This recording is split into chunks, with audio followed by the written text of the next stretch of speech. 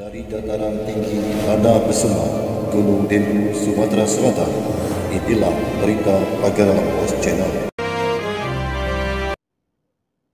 Halo semuanya, bertemu lagi bersama saya Cik Papoy di Pagaralam Pos Channel. Ketua Dewan Pengurus Wilayah Ikatan Pedagang Pasar Indonesia Provinsi Sumatera Selatan, Muhammad Aris Al-Kausar melantik secara resmi pengurus DPD IKPPI Kota Pagaralam masa bakti 2023-2027.